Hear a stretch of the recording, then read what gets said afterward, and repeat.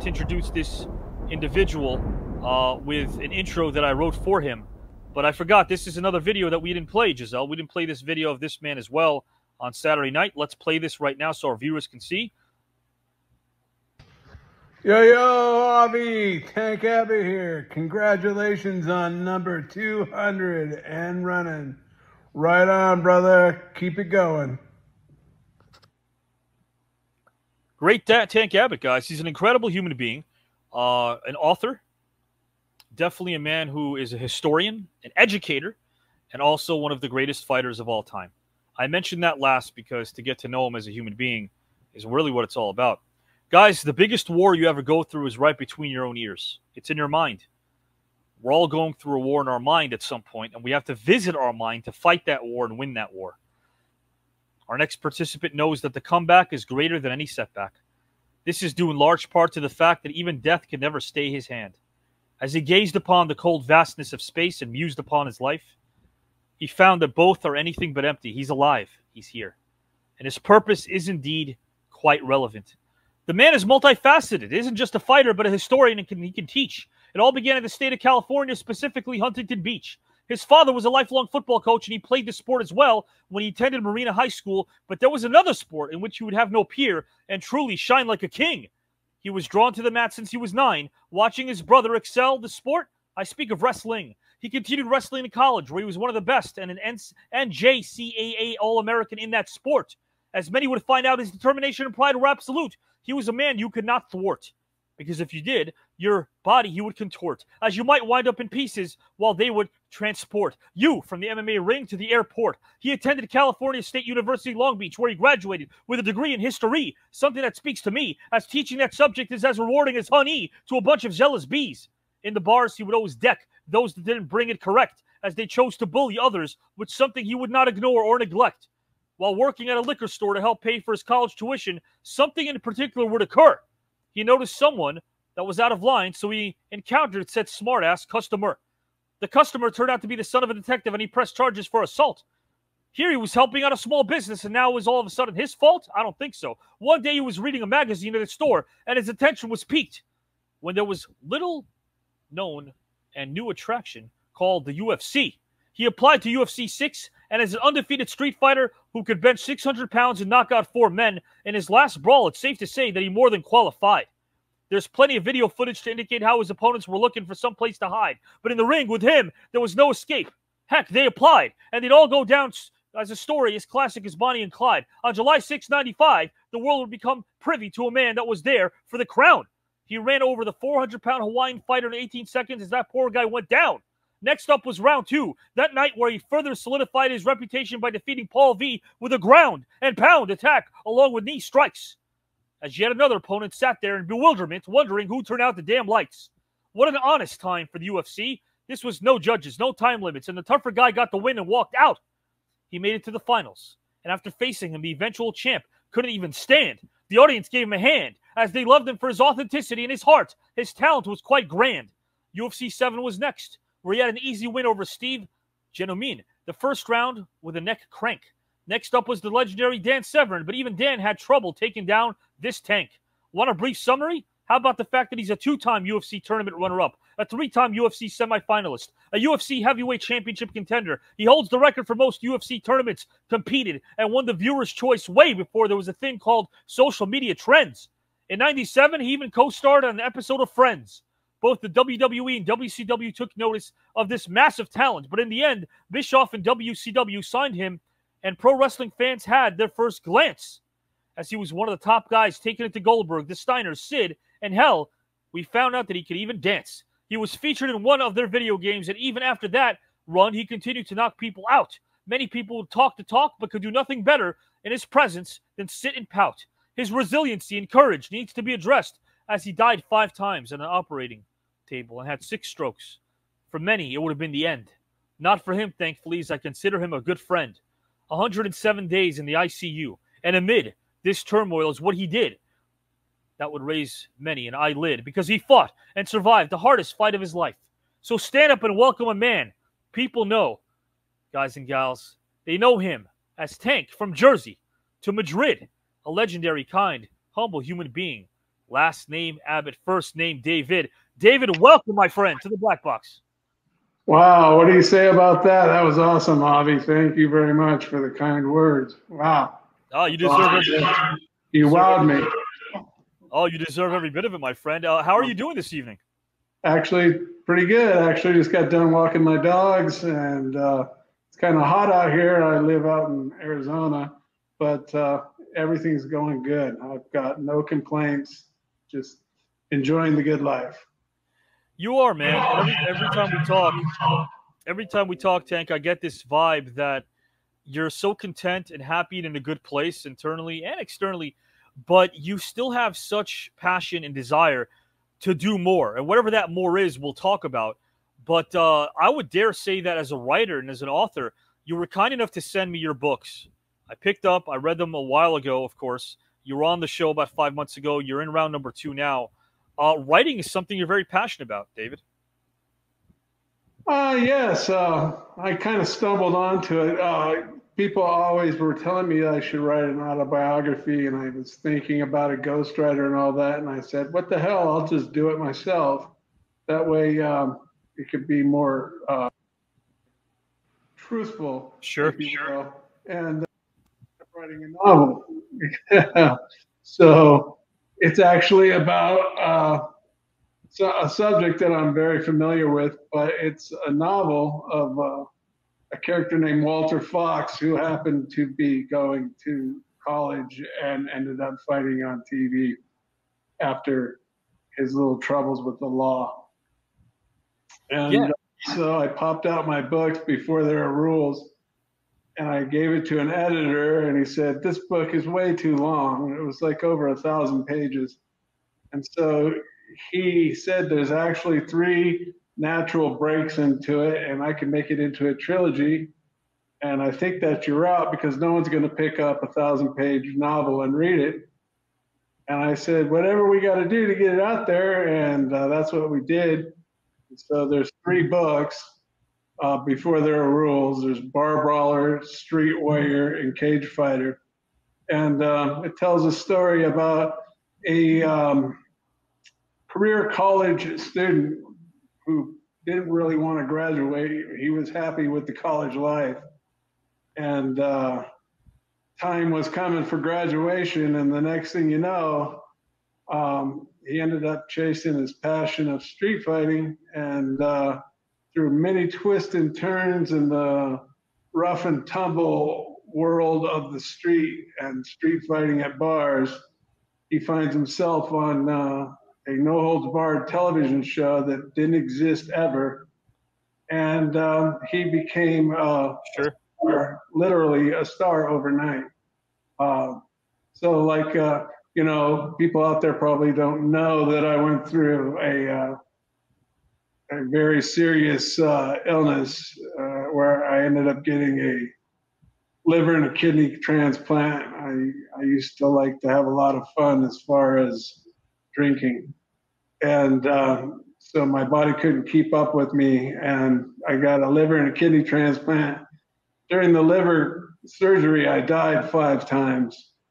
And uh, that'll change uh, the way you look at life.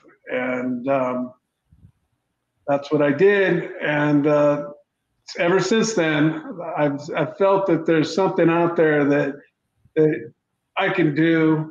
you know, I've kind of, I like to say, grown up maybe, or just uh, learned that there's, you know, not always about beating people up, uh, but finding the meaning of life and, and going after it and living it. And that's uh, how we ended up here. Yes. yes. yes. You are you are living proof of that, my friend, because when you were on here part, as part of the celebrity tournament, of course, you're in round number two, which is about to kick off soon. But when you were here with Mark Rypien, NFL legend, and Brian Jordan, MLB and NFL legend, two two sport athlete, uh, you were able to tell us a lot of things about your past that were so revealing in a positive way. And I say positive because the reception we had from everybody else that were watching and commenting told me a story of how relatable it was to know that David Tank Abbott, who is considered by everybody to be one of the toughest human beings in the world, to me, was David Abbott. not just because of what you went through, but because when we first started speaking on the phone, it was David and Avi talking.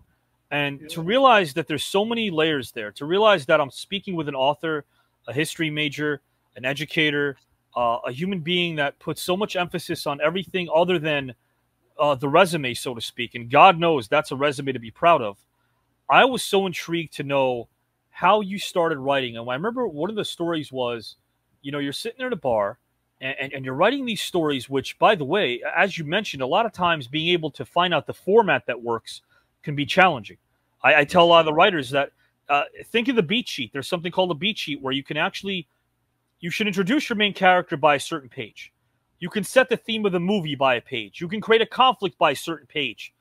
Uh, it seems to be very, very by the book, so to speak. But there are three dimensional characters that we can flesh out, and there's ways to do that.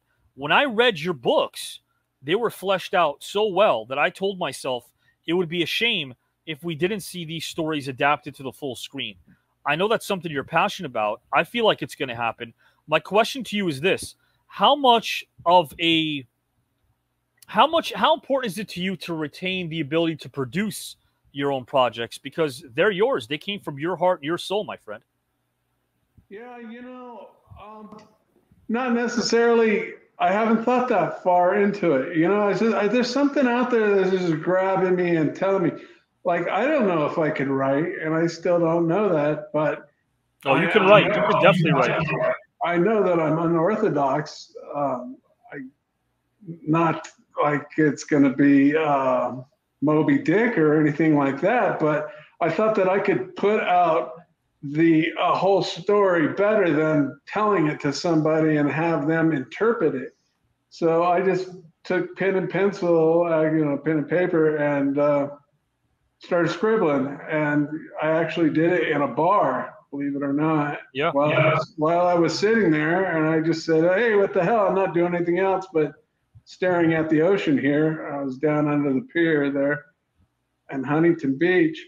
And I just started writing away about things that influenced my life and the people that were in my life. And I put it out there, and then people are like, hey, do you realize that you can write? And at the time, no, I, I just said, I just write. I, nothing special behind it. I, nothing studied behind behind it or anything like that, and that's what came out. And um, I checked it out on uh, audio, and I, I kind of surprised myself when I had the AI guy reading it. I was like, "Wow, I wrote that." kind of one of those moments. But, I'd like yeah. I'd like to read some of these comments from our viewers. That's so inspiring, uh, says Brian. Your story is seriously very inspiring. For Ramon, Kate, telling your own story can be helpful for both yourself and those who need to hear it. Um, uh, there's more. Uh, that is so amazing from Chad. Absolutely, Ed. Uh, good to see the change, guys. You can buy these books because if you don't, you're going to miss out on some good stories. David's not bringing that up. I'm bringing it up. I'm asking you guys to go to Amazon and pick these up because they are quite the read. A lot of you on Saturday night's show, uh, which is sort of our uh, the mothership of what we do, the green room on Saturday nights. That's where David competed on the tournament. Uh, I've already purchased these books, told us what it meant to you as well. Uh, Tank, going back a little bit as well, I want to bring this up because I think it's a really, really awesome story. Um, of course, you're born and raised in Huntington Beach. You began practicing amateur wrestling when you were about nine years old. You continued that through high school, where you also played football. And then you continued wrestling in college, where you were an NJCAA All American you attended California State University, Long Beach, where you graduated with a degree in history. And it was around this time where you were trained in boxing by Noe Cruz, who also trained, I think, Carlos Palomino at the Westminster Boxing Gym. Is, is that right, Tank? You know, and and this whole thing, looking back on it, I don't know if everybody feels this way, but it seems like my whole life is written. You know, when you you get existential uh, thoughts going on in your head when all the things that I've gone through. Um, you start exploring different uh, ways and thoughts of things you, you, think about, and spiritually, like it's out there. Like you know, somebody wrote this whole thing for me. Eh, you know, sure, it, sure. It, it's kind of uh, strange, but um, I just follow the path that comes my way. You know, it's not something that I sought out, I plan or uh, have an agenda to, to push. I just I flow with I go with the flow and I ended up writing three three novels that I think call me a little biased, but after listening to them on Audible, I was like, hey, that's pretty cool. Very much so. Yeah, and uh, yeah, you know, who knows? Maybe you push it on to something else. You know, could be the modern day Rocky or something like that. Uh, look, I like you. Uh, you and I definitely talked about this uh, many a times, even today. I think I think it's a story or stories that can be told. There's no doubt about that. Um, I want to ask a couple of questions here, my friend, because I think a lot of our viewers as well uh, would probably be very interested to know that when it comes to the days of the UFC that you were a part of, people need to understand that when you fought in the UFC, it was the most honest time the UFC ever experienced. There were no judges, there was no time limits. The tougher guy always got the win and always walked out of the ring. Whereas now you got judges and all sorts of things, and it turned it's kind of turned into more like a circus than it was. Would you agree, uh, from your opinion, David? I don't go with a circus, but it has definitely turned into a skill, um, of like more or less like like a wrestling or boxing. It's turned into a skill where these guys are very skilled fighters. There's there's a lack of uh, uh, uh emotion. But by, by circus, I mean the promotional aspect of it, where now they feel like they have to market these guys like pro wrestlers when essentially back then, if you didn't know how to get in the ring and kick some butt, you weren't going to go far. Yes, it's very true. And the first five shows were kind of to showcase jujitsu. And so after the first five shows were run by this Gracie's, and, he, and their jujitsu is tough as can be. It's a martial art, but they sold the show, and music producers took over, and they said, "We're not going to push jujitsu or anything else. We're going to be honest and put whoever is wrestlers and and boxers and all that in the one area, and they can compete."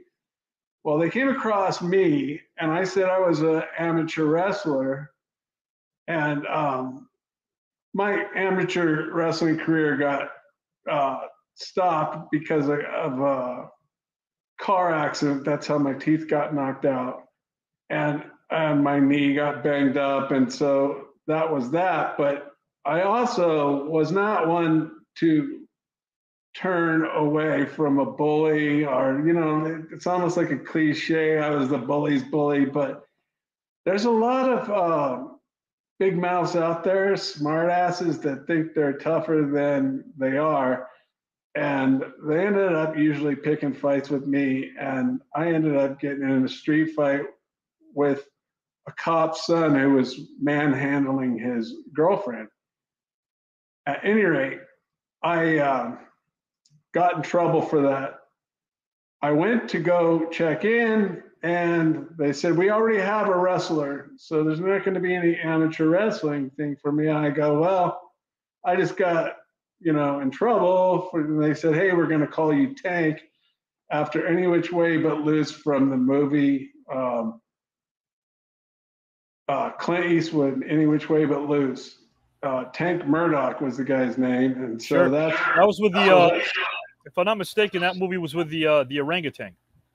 And then I ended up coming into the show as a street fighter, and that's why it's so honest and everything from UFC on six on. For there was a window there where there was nobody uh, pushing a certain martial art or anything like that, and I like to think that my fight, which was the first fight of UFC six, was the first uh, original, honest fight.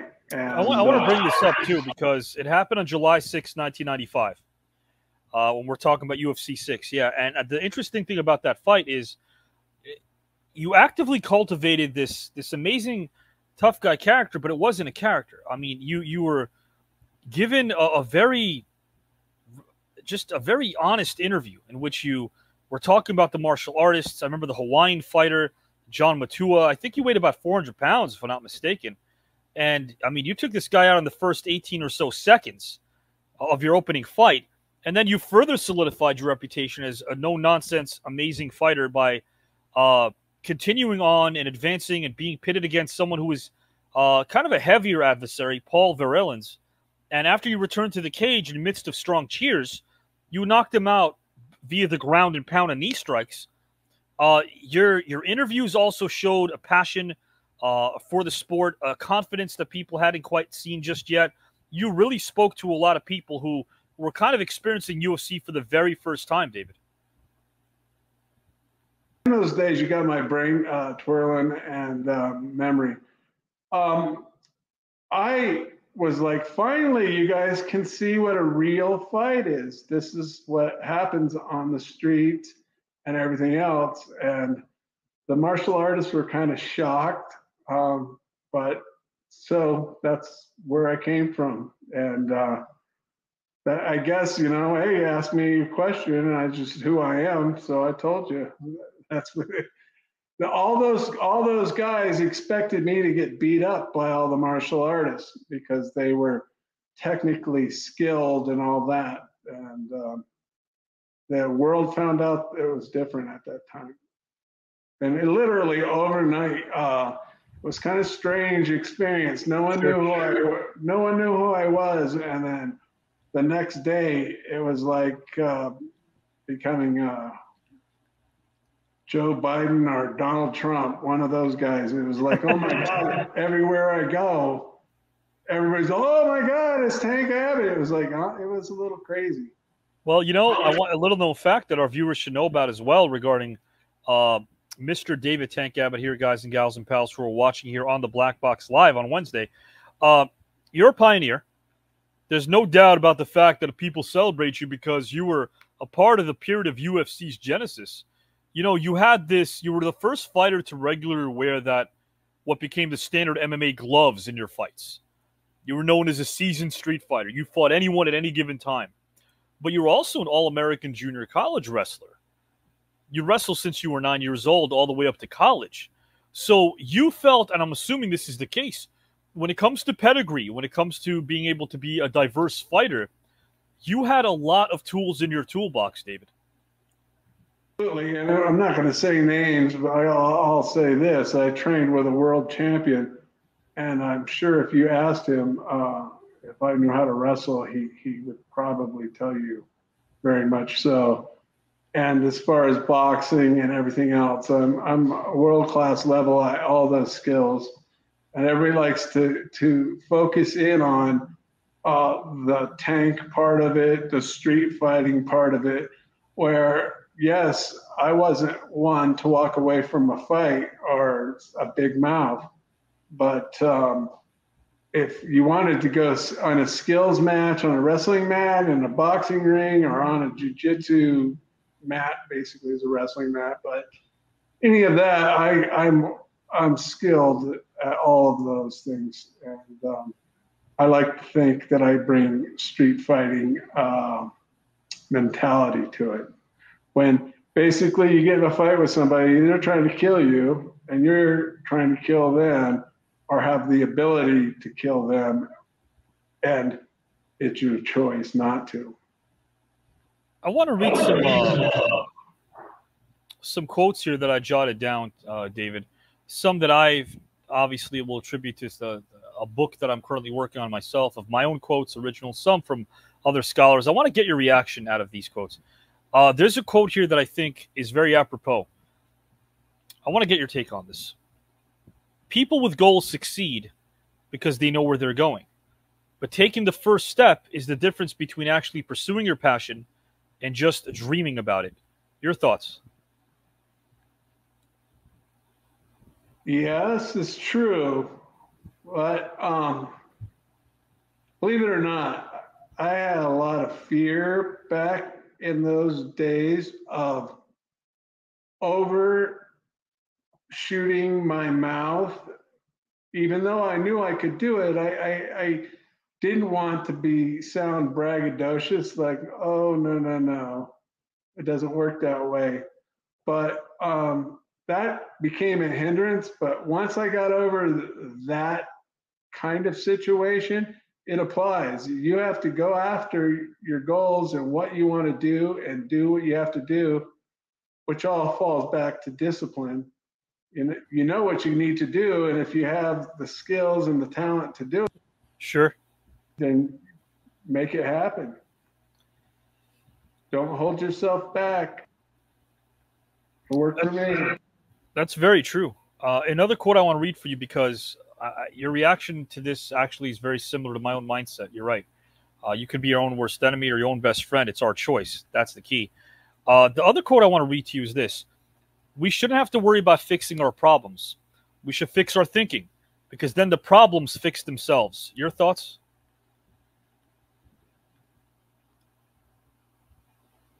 Yeah, it's true. And, and trust me, my mind goes a million miles an hour nowadays. And um, I have to have uh, conversations with myself like, hey, you're overthinking this. Calm down, and things will happen the way they're they're written, the way the way it's supposed to be.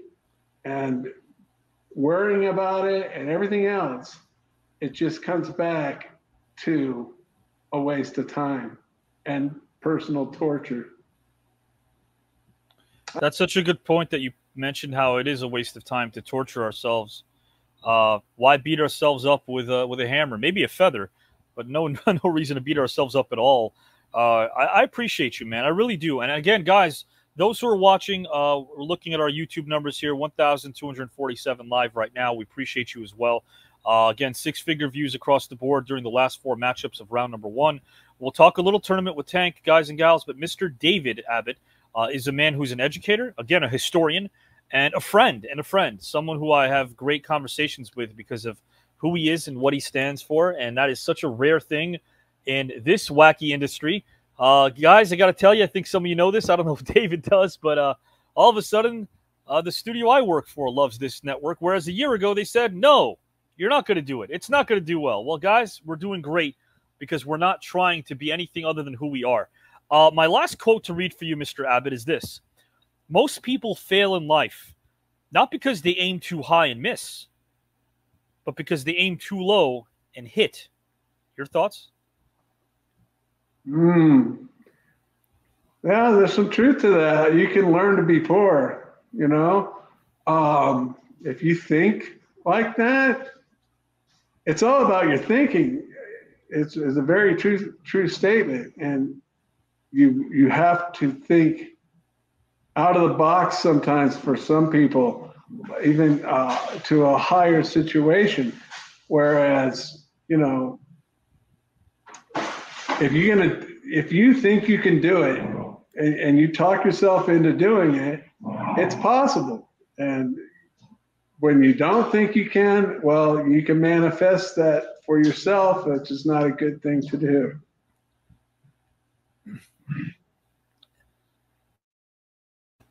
It's a very good point. I do want to bring this up here, guys and gals. David Abbott is in round two of this tournament, and I agree. Whatever you manifest might come to fruition. May not always be a good thing.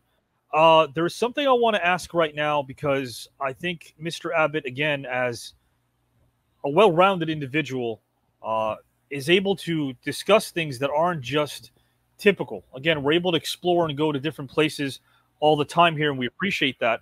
But I'd like to have uh, my co-host Giselle tonight ask a question. I know she's going to ask one as well to Mr. Abbott. Any questions she'd like. Uh, a couple of our viewers, we'll pop them in. You guys can ask David Abbott anything you'd like as well. And guys, remember, I'm going to continue mentioning his books as I have been because they are quite the read. And if for nothing else, you could read these books and lose yourself and be inspired because we all know that in this year, especially in 2024, we could all use some inspiration. We can all move away from the politics and all the all the talking heads that want to divide us. Reading these books, really, if I were to sum them up with my own tagline, it would be inspiration meets purpose. And that's what you're going to get when you read these three books. They're a trilogy, and they were written by Mr. David Abbott, who won't say this about himself, but I'll say it about him, is a well rounded, intelligent, thoughtful person who happens to be in this tournament as well. Uh, Giselle, let me bring you in here. And any question you'd like to ask Mr. Abbott, feel free. Hi, Mr. Abbott. I'm so happy you are joining us on a Wednesday evening on the Black Box tonight. So, my question for you this evening is what is the most interesting place you've visited and why? Well, I've um, been to a lot of places, but I, one place that I always used to say uh, when you go on a vacation, don't go back because it's not. If you had a great time, it's it's really hard to uh, do it again. But um, this place I I used to go quite a bit. It's down on. It's called East Cape. It's in Cabo, Mexico. You fly in there and then you go to the Sea of Cortez, and it's um, a place where uh, it used to be. I don't know if it is anymore, but you could go out. It's like the old man in the sea. Go out and fish and uh, marlin and that, and drink beers and on the way out and on the way in. Hang out at the hotel and just lose yourself. There's no such thing as anything else but what's going on there. And it was an awesome time and place but things change. I don't I don't know if it's still the same place anymore. But uh, Los Barriles, it's uh, on the Sea of Cortez Cabo. Went there many been, times by I would I would like to go. So you mentioned The Old Man and the Sea by Hemingway. Have you read a lot of Hemingway? I haven't, and I, I don't do much reading. So I haven't even read my book. I've I've listened to it on audio or Audible. Well, guys, check this out here. Uh, I need you to go to Amazon.com right now, guys, because uh, please, the Bar Brawler, you see these amazing books here written by Mr. Abbott. Uh, they're very deep. You can get the Audible version, you can get them on Prime. Uh, these are a trilogy, guys. You can get any of these books, they're available on paperback. Uh, Mr. Abbott, an, an incredible writer. So you can find this. It's very accessible. All you guys have to do is go to Amazon.com and you will get these books and you will be able to you know what guys? I'm going to make this a little bit harder on you. How about this? I know mr abbott may not condone but i'm going to do this. If you guys want to have your comments pulled up you better send me a book report on all of mr abbott's books by next wednesday. By next wednesday uh, you're going to enjoy reading these books. I did. Uh, again mr abbott was kind of to send them to me uh, let's bring in a couple of our viewers with some questions for mr abbott as well brian i'm going to bring you in first Brian, any question you'd like to ask Mr. Abbott on screen? Uh, the floor is yours. Hey, Mr. Abbott, how you doing? Hello, Brian. I had a my only question. One of my few questions for you is: uh, the first time you hit somebody in the ring, how did that feel? It was uh, a regular practice for me, so um, it wasn't. it was nothing exciting. It was. I was uh, supposed to get killed by this guy that I was fighting. Like not, it was supposed to be a. a I was supposed to be demolished, and so when I hit him and I saw his eyes uh, get big, I just said, "Yeah, that's right. This is more to come." And uh, that's it. Wasn't I was seasoned at that time? Let's put it that way. That's uh, that's really cool. Um, Uh, you know, it's funny you say that. I when I went to basic, it, it's funny because you were one of the people that I used to watch growing up, and I joined the military, and I always wanted to fight because of it. Well, anyways, we get into basic, and you know, you have to let off steam somehow, and we had 60 men to two bays. It was uh, um, third platoon and fourth platoon, and we all decided together. We said, "Look, you know, nobody tell the DS, but it's hands on. Let's do it." So there was a 120 man brawl in the bay. Next morning, Diaz looks at us. He's like, "Did you guys want to fight?" No. right, No. right on. I And Brian, uh, great question. Thank you for serving our country, my friend. Thank you, and thank you very much, Tank. Do what you do. like likewise. Have a good one. Guys and gals, uh, two more questions, and then we are going to go again. Uh, we do want to remind you guys, Eric Roberts, this Saturday night live on uh, the Mothership, the Green Room. 201st episode will air this Saturday live, as always, live. Following week, Lenny Wilkens, three time Hall of Famer, uh, one of the greatest basketball players and coaches of all time, uh, will be trying to uh, get his redemption and make it back to this tournament against the mystery opponent as well. Mr. Abbott is already in round number two. Chad, if you have a question for Mr. Abbott, the floor is yours. Hey, good evening, Mr. Abbott. How are you tonight? I'm doing good, Chad. How are yourself? You doing Great. good? Doing yeah, awesome. Um, just right a quick on. question for you. Just kind of wondering, uh, what do you kind of do for a hobby in your pastime? Oh boy, um, I used to uh, party all the time, but that I ran my luck ran out, and that my body couldn't keep up. So nowadays, I uh, I live out here in the desert, and I work on my back part of my property doing building fences and doing the landscaping and all that kind of stuff. But I also work out at the gym and uh, hang out with my wife. Oh wow, that's awesome. Um, if yeah. I might, if I might, I have one more quick question, So I really would love to know the answer. Who was your toughest opponent you've ever had to face? Well, um, just because it lasted for 14 minutes plus would be Oleg Taktarov in my first show that I fought in. Um, just uh, he was kind of fresh because he didn't have two fights before me that were serious enough for him to get tired. So I was fighting him, and boy, let me tell you something. That guy's a tough, tough man. I, I beat on him and beat on him and beat on him, but uh, he wasn't going to quit. And I would definitely say he is probably my toughest fighter for sure. Oh wow! Well, thank you for uh, answering my questions. It was uh, very much an honor to meet you tonight, sir. Oh, likewise. You have a good night. You too, you, Chad. Appreciate you, uh, guys. Let's bring in Ramon for our final question of the evening to Mr. Abbott. Ramon. Evening, Mr. Abbott. How you doing? Hey, Ramon. How are you? I'm doing good. Thank you. I'm doing fantastic. Thank you for asking. Um, simply put, my only question is throughout your life and just throughout your success and your your journey to following your dreams, what was what was the big thing that just kept you going?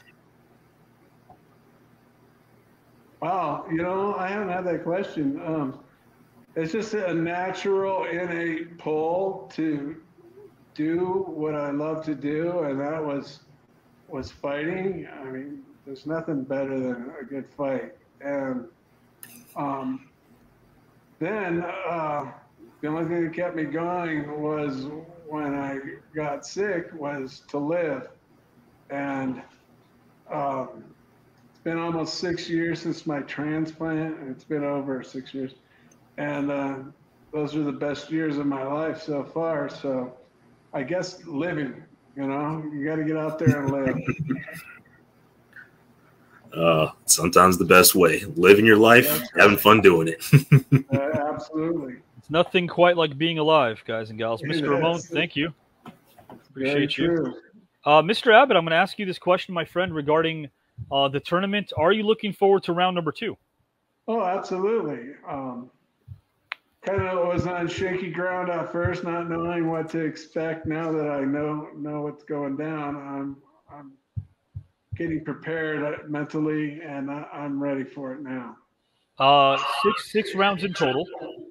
Uh, as of yeah. now, looks like if you look at the numbers, 119 Hall of Famers and award winners from Hollywood music, film, sports.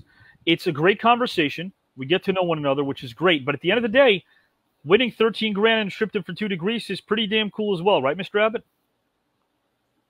Oh yeah, my wife's on the other side of this laptop here, going, yeah, putting her hands above her head. I love that. Making sure I don't say anything stupid. I love that, my friend. Hey, uh, one one final observation. I have to ask you this, Mr. Abbott. I'm going to ask Giselle this question as well, but first, Mr. Abbott, are you the guy that can wait? I can't. Are you the guy that can wait a full two minutes when you receive microwave directions? You put the dish in. They tell you you got to warm it up for two minutes. I usually go a minute 54 I can never wait. I'm not patient enough to wait the full two minutes. How about you? Well, when that happens, I I make a game out of it and try to see how long I can hold my breath. I love that. How about this? Got to ask you some quick questions here. Little moments of levity. Why not? Um, this is a question I usually ask a lot to some of the luminaries that we have here, or it's more an observation. Do you realize that the object of golf is to play the least amount of golf? Absolutely. Yeah. That's you That's- actually. That's why, that's why I don't play it. I don't play it either. I'm not a golf fan. I'm really not. I'm not a golf guy. Uh, how about this? Uh, the word bed. You actually write the word bed out. The word bed looks like a bed. The word bed Yeah. looks like a bed. Yeah. Think about it. B E D. The word actually looks like a bed. That's above me. I, I had five strokes also. Question for you. My Question. wife's going, it does, it does. My question for you and your wife. If Yeah. Carmen Sandiego and Waldo ever got together, would their offspring just be completely invisible? I'm gonna I'm deferring to her and she's stuck. She said they're never invisible. Indivisible. Okay, last question. Do you like? I don't like being the person with a remote in a room full of people watching TV because there's a lot of pressure. You know, you might like the show, but will they judge you if you keep that particular show on? Do you want the remote in your hand or in somebody else's hand? Oh, it's always in my hand. That's why I got a good wife. There you go. There you go. Uh, guys and gals, this is Mr. David Tank Abbott, who again blessed us with his time.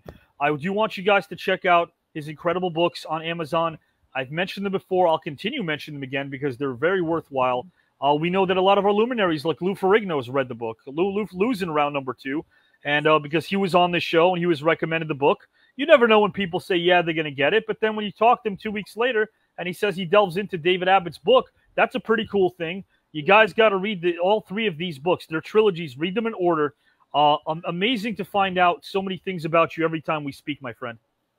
It's always been fun and it's my pleasure. Thank you. Anything you'd like to tell our viewers? The floor is yours. Oh man, just go out and live your life and have a good one while you're doing it. I'm going to talk to you soon, my friend. Thank you for joining us. My pleasure. Thank you. Thanks. David, Alan. David Abbott, guys and gals.